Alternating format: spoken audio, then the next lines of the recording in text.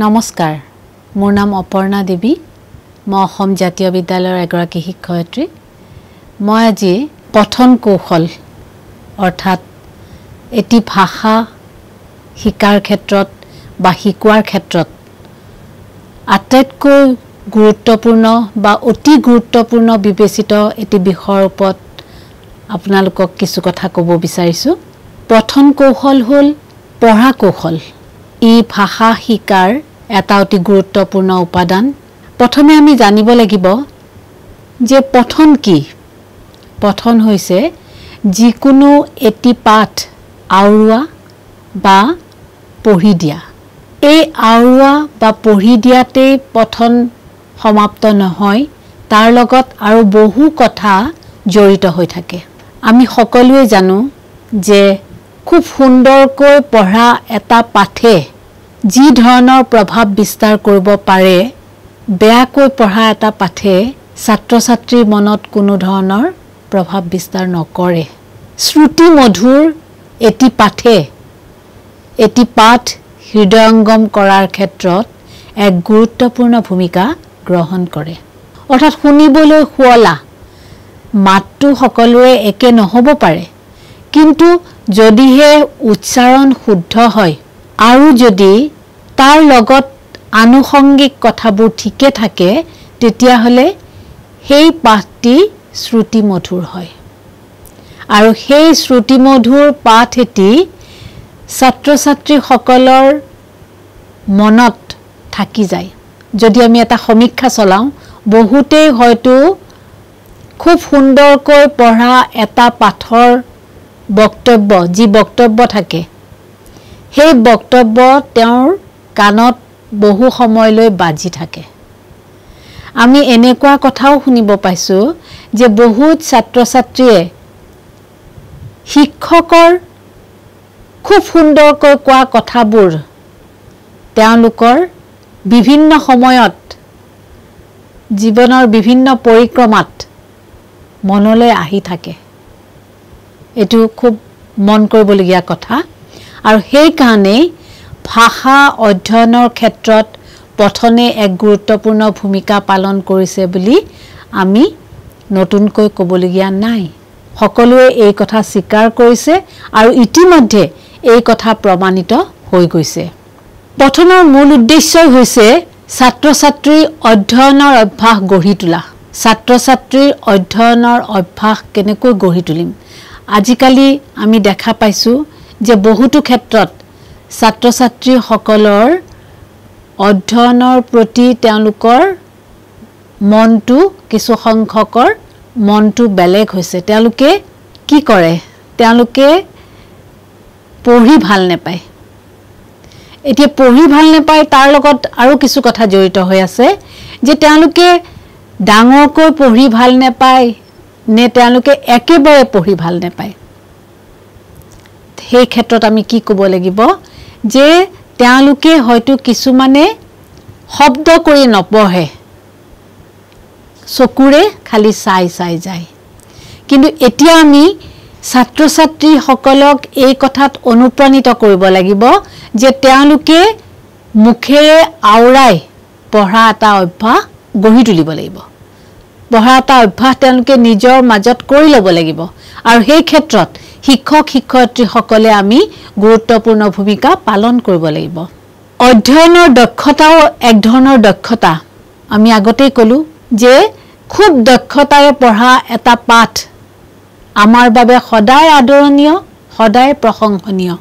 আমি সকলোৱে জানো যে এটি শিশুৱে জন্ম লাভ কৰি ঘৰখনৰ পৰাই বহুতো কথা শিকে। কিন্তু এই যে আমি পঠনৰ বিষয়ে আলোচনা কৰি আছোঁ সেই পঠন বিষয়টি বা পঠনৰ কথা আকৌ বিদ্যালয়তহে আৰম্ভ হয়। পঠন আমি ঘৰত পঠনৰ অভ্যাস কৰোৱাৰ ক্ষেত্ৰত কিছু অসুবিধা সন্মুখীন হ'বলগীয়া হ'ব পাৰে। বিদ্যালয়ত পঠন আৰম্ভ হোৱাৰ কাৰণ হ'ল বিদ্যালয়ত ছাত্ৰ ছাত্ৰীক আখৰৰ লগত চিনাকি কৰাই দিয়া হয় শব্দৰ লগত চিনাকি কৰাই দিয়া হয় আৰু বাক্যৰ লগত চিনাকি কৰাই দিয়া হয়। তেওঁলোকে যেতিয়া শিক্ষকৰ কথামতে এটা পাঠ পঢ়িব তেতিয়া তেওঁলোকে তাৰ লগত কমা দাড়ি জ্যোতিচিনবোৰ ধৰিব পাৰিব। তাৰপিছত তেওঁলোকে লাহে লাহে পৰ্যায়ক্ৰমে তেওঁলোকে সমাৰ্থক শব্দ অনুৰূপ শব্দ জতুৱা ঠাঁচ এইবোৰৰ লগতো পৰিচিত হ'ব। আৰু সেইবোৰ কথাৰ কাৰণেই এটি শিশুক বিদ্যালয়ৰ প্ৰয়োজন হয়। বিদ্যালয়ৰ চাৰিবেৰৰ মাজত শ্ৰেণীকোঠাত তেওঁ সেই কথাবোৰ সহজে আয়ত্ব কৰিব পাৰে। আৰু আয়ত্ব কৰি তেওঁ শব্দৰ পৰা বাক্যলৈ যাব পাৰে। শব্দৰ পৰা দুটা শব্দ লগ লগাই কেনেকৈ বাক্য হয় সেই কথা তেওঁ সেই কথা তেওঁ কি কৰিব দুটা শব্দৰ পৰা কেনেকৈ বাক্য গঠন কৰিব পাৰি। যেনেকৈ মই খাওঁ মাত্ৰ দুটা শব্দ। কিন্তু সেই দুটা শব্দই এটা বাক্য গঠন কৰাত সহায় সহায় কৰিছে। মই গান গাওঁ। তিনিটা শব্দ। কিন্তু এটা সুন্দৰ অৰ্থপূৰ্ণ বাক্য। মই গান গাওঁ। মই খেলি ভাল পাওঁ। মই খেলি ভাল পাওঁ। চাৰিটা শব্দ। কিন্তু সেই চাৰিটা শব্দই এটা শিশুৰ সম্পূৰ্ণ মনৰ ভাৱ প্ৰকাশ কৰাত সফল হয় মাত্ৰ চাৰিটা শব্দৰ জৰিয়তে। দুটা শব্দৰ পৰাই হয় যেনেকৈ যাওঁ বুলি ক'লেও আচলতে আমি এটা তাতো এটা আমি অনুভৱৰ কথা ধৰিব পাৰোঁ যে তেওঁ যাবলৈ ওলাইছে। আহিছোঁ আহিছোঁ বুলি কোৱাৰ পিছতো আমি ধৰিব পাৰোঁ যে তেওঁ কি কৈছে তেওঁ আহি পালে। তাৰ জৰিয়তে তেওঁৰ মনৰ ভাৱ প্ৰকাশ কৰিছে। কিন্তু যেতিয়া এটাতকৈ অধিক শব্দ লগ লাগি যেতিয়া বাক্যটো গঠন হয় তেতিয়া সেই বাক্যটোৱে এটা স্পষ্ট ভাৱ প্ৰকাশ কৰাৰ ক্ষেত্ৰত সফল হয়। বিদ্যালয়ত শিশুৱে যে মই ক'লোঁ যে বিদ্যালয়ৰ প্ৰয়োজন হয় শিশুক পঠন কৌশল আয়ত্ব কৰাৰ ক্ষেত্ৰত তেওঁ নতুন নতুন শব্দবোৰ শিকিবলৈ লয়। ঘৰখনৰ মানুহবোৰৰ লগত কথা পাতি তেওঁ যিমান শব্দৰ লগত পৰিচিত হ'ব এখন বিদ্যালয়ত এটি শিশুৱে বিভিন্ন পৰিৱেশৰ পৰা বিভিন্ন শব্দ তেওঁ আয়ত্ব কৰিব পাৰিব। প্ৰথমে তেওঁ ক'ৰ পৰা শব্দ শিকিব? তেওঁ লগৰ ল'ৰা ছোৱালীবিলাকৰ পৰা। অৰ্থাৎ লগৰ তেওঁ লগৰ আনসকল ছাত্ৰ ছাত্ৰীৰ পৰা। যি কিছুমান শব্দ হয়তো তেওঁ অভিভাৱকে ব্যৱহাৰ নকৰা শব্দও তেওঁ তাত শিকিবলৈ পাব। তাৰপিছত তেওঁ শিকিবলৈ একেবাৰে ভাল শব্দবোৰ তেওঁ শিকিব ক'ৰ পৰা? শিক্ষক শিক্ষয়িত্ৰীৰ পৰা। অৰ্থাৎ আমাৰ পৰা। আমি সেইকাৰণে শব্দৰ ব্যৱহাৰৰ ক্ষেত্ৰত অতি সাৱধান হোৱা উচিত। আৰু ভাষা শিক্ষাৰ এইটো এটা অতি গুৰুত্বপূৰ্ণ কথা যে শব্দৰ প্ৰয়োগ শব্দৰ প্ৰয়োগ খুব সুন্দৰ হ'ব লাগে। আৰু সেই এটা শব্দই আমাৰ মন মগজুত কি ধৰণে ক্ৰিয়া কৰে সেই কথাটো আমি জানিব লাগে। আমি কেতিয়াবা কোনো ক্ষেত্ৰত আমি হয়তো কেতিয়াবা কোনো ক্ষেত্ৰত কাৰোবাক কটু কথা শুনাবলগীয়া হ'ব পাৰে। যেনেকৈ আমি উৎসাহজনক কথা কওঁ। কিন্তু কটু কথা শুনোৱাৰ ক্ষেত্ৰতো আমাৰ শব্দৰ প্ৰয়োগবোৰ এনেকুৱা শব্দ প্ৰয়োগ কৰিব লাগে যাতে তেওঁলোকে একেবাৰে ভাগি নপৰে। তেওঁলোকে নিজৰ দোষটো বুজি পোৱাটো উচিত এই কথা আমি স্বীকাৰ কৰোঁ। কিন্তু বুজি পালেও সেই শব্দটোৱে যাতে তেওঁক অহৰহ বা তেওঁক যাতে বাৰে বাৰে হতাশাত হতাশাৰ মাজলৈ ঠেলি লৈ নাযায় তাৰ কাৰণে আমি সাৱধান হ'ব লাগে শব্দৰ সুপ্ৰয়োগৰ জৰিয়তে। এই ক্ষেত্ৰত আমাৰ শিক্ষক শিক্ষয়িত্ৰীসকলৰ এক গুৰুত্বপূৰ্ণ ভূমিকা আছে। পঠনৰ মূল উদ্দেশ্য হ'ল যে মূল উদ্দেশ্য বুলি ক'লে আমি কি ক'ম? যে পঠনৰ দ্বাৰা সকলো শ্ৰেণীৰ লোকে উপকৃত হয়। কিন্তু তাৰ মাজতো ছাত্ৰ ছাত্ৰীসকলে বিশেষ ধৰণে উপকৃত হয়। মই কৈছোঁ এই যে তেওঁৰ বিপৰীত শব্দ সমাৰ্থক শব্দ জতুৱা ঠাঁচ এই সকলোবোৰৰ লগত পৰিচিত হয় পঠনৰ জৰিয়তে। একো নপঢ়াকৈ বহি থাকিলে তেওঁ এইবোৰ কথা কেনেকৈ গম পাব? কাৰণ আমি আজিকালি জতুৱা ঠাঁচৰ ব্যৱহাৰ নকৰোঁ। ব্যৱহাৰ কৰিবলৈ আমি পাহৰি গৈছোঁ। বা সেইটো আমাৰ এতিয়া আমি সেইবোৰ কথা এতিয়া অপ্ৰচলিত হ'বলৈ ধৰিছে। যেনেকৈ যে এনেই বুঢ়ী নাচনী তাতে নাতিনীয়েকৰ বিয়া। এইবুলি আমি কোৱাতকৈ ক'ম বা কি উৎসাহ। কথাখিনি আপোনালোকে অনুধাৱন কৰিব পাৰিছে নিশ্চয়। ঠিক সেইদৰে শব্দৰ প্ৰয়োগ প্ৰয়োগ ৰীতি সম্পৰ্কে বা প্ৰয়োগ নীতি সম্পৰ্কেও আমি কিছু কথা জানিব পাৰোঁ অকল পঠনৰ জৰিয়তে। এতিয়া কথা হ'ল পঠন দুই প্ৰকাৰৰ সৰব পঠন আৰু নীৰৱ পঠন।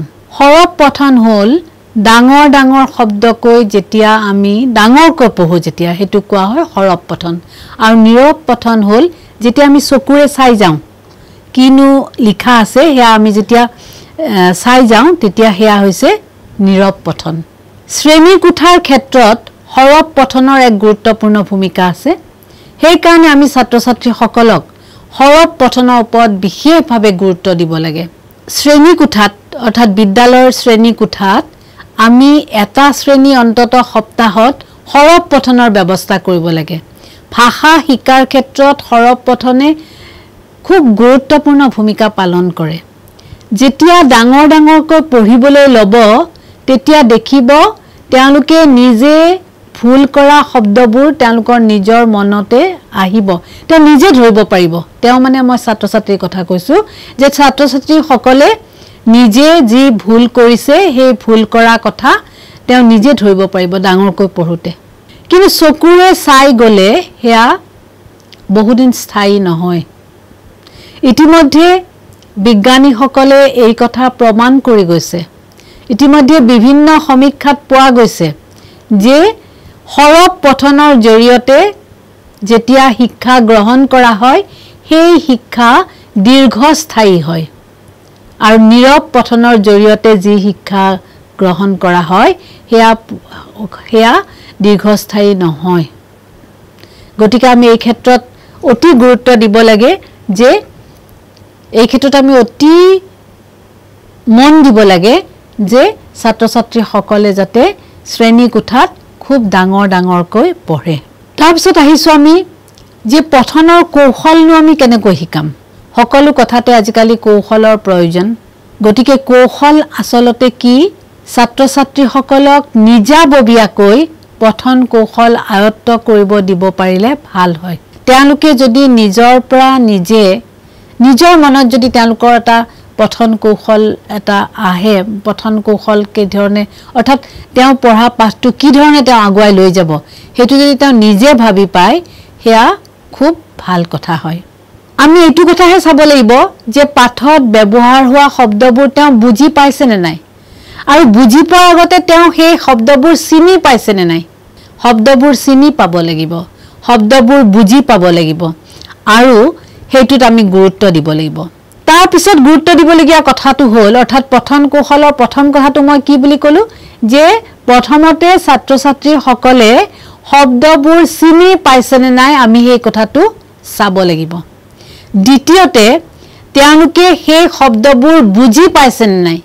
বুজি নোপোৱাকৈ পঢ়া এটা শব্দই তেওঁলোকক কোনো কাম নিদিয়ে। অৰ্থাৎ তেওঁলোকে কি পঢ়িছে তেওঁ নিজেও নাজানিব। তাৰপিছত আমি কি চাব লাগিব? যে পঠনৰ গতি কেনেকুৱা? সুন্দৰ গতিৰে পঢ়িব পাৰি পাৰিব লাগিব। এটা গতি থাকিব লাগিব। অনাকৰ্ষণীয়ভাৱে অৰ্থাৎ আকৰ্ষণীয় নোহোৱাকৈ পঢ়িলে সেই পঢ়া কথাখিনিয়ে আমাৰ মন আৰু মগজুত ক্ৰিয়া নকৰে। ছাত্ৰ ছাত্ৰীসকলৰ ক্ষেত্ৰত আমি আৰু এটা কথা শিক্ষকসকলে মন দিব লাগিব তেওঁলোকে যাতে অকল পাঠ্যপুথি অধ্যয়নতে ব্যস্ত নাথাকে।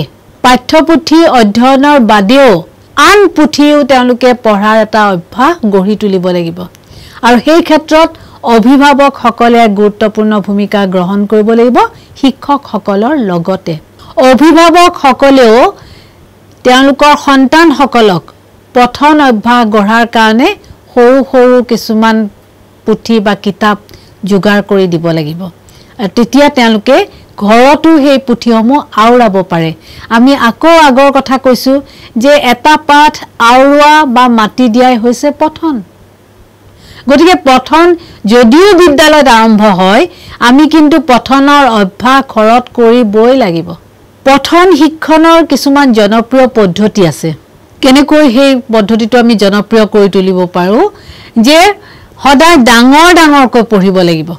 শব্দ কৰি পঢ়াটোৱেই পঠনৰ উত্তম পদ্ধতি নহয়। অকল শব্দ কৰিলেই যে পঠন ভাল হ'ব তেনেকুৱা নহয়। এই ক্ষেত্ৰত আমি ডাঙৰ ডাঙৰকৈ পঢ়িবলৈ দিব লাগিব তেওঁলোকক। তাৰপিছত আমি মন দিব লাগিব যে শুদ্ধকৈ লিখা কথাহে আমি তেওঁলোকক পঢ়িবলৈ দিব লাগিব। অতি শুদ্ধকৈ লিখা কথা। যদি লিখোঁতেই ভুল হৈ থাকে তেতিয়াহ'লে সেই ক্ষেত্ৰত বহুত অসুবিধাৰ সৃষ্টি হ'ব। বয়স অনুপাতে পঠন হ'ব লাগে। এটা নিৰ্দিষ্ট বয়সৰ কাৰণে কি ধৰণৰ আমি পঢ়িবলগীয়া পাঠ দিম সেইটো আমি থিৰ কৰি দিব লাগিব। তেওঁলোকে নুবুজা কিছুমান অদ্ভুত শব্দৰ প্ৰয়োগেৰে যদি এটা পাঠ আমি তেওঁলোকক পঢ়িবলৈ দিওঁ সেই পাঠটো তেওঁলোকৰ কাৰণে একেবাৰে জমৰ যাতনা হ'ব। তেওঁলোকে সেই পাঠটো পঢ়িবৰ কাৰণে অলপো ইচ্ছা নকৰিব। যিকোনো এটা নিৰ্দিষ্ট ভাষাত লিখা পাঠহে তেওঁলোকক পঢ়িবলৈ দিব লাগিব। যিকোনো এটা নিৰ্দিষ্ট ভাষা। সেয়া অসমীয়াও হ'ব পাৰে ইংৰাজী হ'ব পাৰে হিন্দী হ'ব পাৰে বা বাংলাও হ'ব পাৰে। কিন্তু এটা নিৰ্দিষ্ট ভাষাত লিখা পাঠ হ'ব লাগে। তেতিয়া তেওঁলোকে পঢ়িবৰ কাৰণে সুবিধা পায়। এটা ভাষাত তিনিটা শব্দ আনটো ভাষাত চাৰিটা শব্দ লগ লাগি যদি কিছুমান পঠন আমি বা পঢ়িবলগীয়া কিছুমান পাঠ যদি আমি প্ৰস্তুত কৰোঁ সেইবোৰে ছাত্ৰ ছাত্ৰীক কি কৰে? বিমূৰত পেলায়। বা তেওঁলোকৰ মনত অশান্তিৰ সৃষ্টি কৰে। বাৰে বাৰে একেটা পাঠ যেতিয়া পঢ়িব তেওঁলোকৰ অৰ্থ স্পষ্ট হ'ব। বাৰে বাৰে আওৰালে। একেটা পাঠকে বাৰে বাৰে আওৰালে তেওঁলোকৰ সেই পঠন স্পষ্ট হ'ব আৰু তেতিয়া শুদ্ধ হোৱাটো এক প্ৰকাৰ স্বাভাৱিক। আৰু পঢ়া কথাটো এনেকুৱা যে এইটো পঢ়িয়েই শিকিব লাগিব অন্য কোনো তাৰ পদ্ধতি নাই। আপোনালোক সকলোৱে জানে যে পঢ়া বস্তু এটা অকল পঢ়িহে শিকিব লাগিব অন্য কোনো পদ্ধতিৰ জৰিয়তে সেই কথাবোৰ আয়ত্ব কৰিব পৰা নাযায়। আমি যিটো পাঠ পঢ়িবৰ কাৰণে প্ৰস্তুত কৰি উলিয়াওঁ সেইটো উদ্দেশ্যপূৰ্ণ হ'ব লাগে এটা উদ্দেশ্য থাকিব লাগিব তাৰ। তাত এটা বাৰ্তা থাকিব লাগিব। যি বাৰ্তাই হয়তো পৰোক্ষভাৱে ছাত্ৰ ছাত্ৰীক সহায় কৰিব বা তেওঁলোকৰ মনত এটা প্ৰতিক্ৰিয়াৰ সৃষ্টি হ'ব। এই যে প্ৰতিক্ৰিয়া সেই প্ৰতিক্ৰিয়াৰ সৃষ্টি হোৱাটো এগৰাকী ছাত্ৰ বা এগৰাকী ছাত্ৰীৰ কাৰণে অতি জৰুৰী। ছাত্ৰ ছাত্ৰীৰ বাবে যিবোৰ পুথি আমি পঠনৰ বাবে ৰাখোঁ এটা পঠন কৰ্ণাৰ থকা উচিত। এতিয়া পঠন কৰ্ণৰৰ কথা আহিলে আমি পুথিভঁৰালৰ কথালৈ যাব লাগিব। যে বিদ্যালয়ত আমি যদি পুথিভঁৰালৰ ব্যৱস্থা কৰোঁ আৰু সেই পুথিভঁৰালৰ এটা চুকত আমি যদি এটা পঠন কৰ্ণাৰ কৰি দিওঁ তেতিয়াহ'লে ছাত্ৰ ছাত্ৰীৰ কাৰণে পঢ়িবৰ কাৰণে বেছি সুবিধা হয়। পঠন কৌশলৰ কিছুমান সহায়ক আছে বা কিছুমান উপাদান আছে। আমি পঠনৰ অভ্যাস গঢ়িবলৈ হ'লে ছাত্ৰ ছাত্ৰীসকলক পুথিভঁৰাললৈ যাবলৈ আগ্ৰহী কৰি তুলিব লাগিব। আমি জানো যে এই মহানগৰীৰ বহুতো বিদ্যালয়ত বা অসমৰ বিভিন্ন ঠাইত দৈনিক ৰুটিনৰ এটা শ্ৰেণী পুথিভঁৰাল থাকে। অৰ্থাৎ সেই শ্ৰেণীটোত ছাত্ৰ ছাত্ৰীসকলে কিতাপ লৈ পুথিভঁৰাললৈ যায়। পুথিভঁৰালৰ পৰা তেওঁলোকক কিতাপ দিয়া হয় আৰু সেই কিতাপ পঢ়ি তেওঁলোকে এটা টোকা প্ৰস্তুত কৰি দাখিল কৰিব লাগে। এই ক্ষেত্ৰত বিদ্যালয় পৰিচালনা সমিতি তথা বিদ্যালয় কৰ্তৃপক্ষ নিশ্চয়কৈ প্ৰশংসাৰ যোগ্য কাৰণ ছাত্ৰ ছাত্ৰীৰ পঢ়াৰ অভ্যাসে এটা ভাষা তেওঁলোকে আয়ত্ব কৰাৰ ক্ষেত্ৰত বহুদূৰ আগবাঢ়ি যাব পাৰে। পুথিভঁৰালত এনেকুৱা কিছুমান কিতাপ ৰাখিব লাগে যিবোৰৰ ৰংচঙীয়া বেটুপাত থাকে। ৰংচঙীয়া বেটুপাত বিভিন্ন ৰঙৰ ভিতৰত বিভিন্ন ৰঙৰ কিছুমান ছবি। তাৰ লগতে কুইজৰ কিতাপ। বহুত শিক্ষাৰ্থী ছাত্ৰ ছাত্ৰীৰ কুইজৰ প্ৰতি আগ্ৰহী আজিকালি। কিছুমান খেলৰ প্ৰতি আগ্ৰহী গতিকে খেলৰ বা বাতৰি থকা কিছুমান কিতাপৰ প্ৰয়োজন। যিবোৰ কিতাপৰ আকৰ্ষণে তেওঁলোকক পুথিভঁৰাললৈ লৈ যাব। আৰু পুথিভঁৰাললৈ লৈ গ'লেই তেওঁলোকৰ পঠন অভ্যাস আৰম্ভ হ'ব। তাৰ লগতে আমি ছাত্ৰ ছাত্ৰীসকলক আৰু এটা কাম কৰাব পাৰোঁ। তেওঁলোকৰ মনত প্ৰতিযোগিতাৰ ভাৱ সৃষ্টি কৰিব পাৰোঁ। আমি এনেকৈ তেওঁলোকক ক'ব পাৰোঁ যে যিসকলে সুন্দৰকৈ পঢ়িব পাৰিব তেওঁলোকে পুৰস্কাৰ পোৱাৰ যোগ্যতা অৰ্জন কৰিব। গতিকে পুৰস্কাৰ পোৱাৰ যোগ্যতা অৰ্জন কৰিবৰ কাৰণে হয়তো বহুতেই খুব সুন্দৰকৈ পঢ়িব। সেই প্ৰতিযোগিতাৰ মনোভাৱে পঠন অভ্যাস গঢ়াত এক ধৰণৰ সহায় কৰিব। এতিয়া কথা হ'ল লিখন আৰু পঠনৰ মাজত এক গুৰুত্বপূৰ্ণ ভূমিকা আছে। যিয়ে খুব সুন্দৰকৈ লিখিব পাৰে তেওঁ ভালকৈ পঢ়িব পাৰে। আৰু সেইটো সেই বিপৰীত কথাটো শুদ্ধ যে যিয়ে খুব সুন্দৰকৈ পঢ়িব পাৰে তেওঁ সুন্দৰকৈ লিখিবও পাৰে। গতিকে লিখন আৰু পঠনৰ মাজত থকা যিটো সম্পৰ্ক সেই সম্পৰ্কটোৰ কথা বিবেচনা কৰি বা সেই সম্পৰ্কটোৰ কথা ভাবি আমি কি কৰিব লাগে যে পঠন অভ্যাস গঢ়ি তোলাৰ ক্ষেত্ৰত ভূমিকা গ্ৰহণ কৰিব লাগে। সেই ভূমিকা কোনে গ্ৰহণ কৰিব? আমি অৰ্থাৎ শিক্ষক শিক্ষয়িত্ৰীসকলে তাৰ লগতে অভিভাৱকসকলে। গৱেষণাৰ দ্বাৰা প্ৰমাণিত হৈছে যে যি শিশুৱে শুদ্ধ ৰূপত পঢ়িব পাৰে সেই শিশু এজন ভাল লেখাৰু ৰূপেও পৰিগণিত হয়। মুঠতে সকলো দিশৰ পৰাই পঠন ভাষা শিকনৰ এক গুৰুত্বপূৰ্ণ আহিলা হিচাপে পৰিগণিত হৈছে আগতেও হৈছিলে আৰু ভৱিষ্যতেও হ'ব। সেয়েহে পঠন কৌশল আয়ত্ত কৰাৰ ওপৰত আহক আমি সকলোৱে গুৰুত্ব দিওঁ। ধন্যবাদ।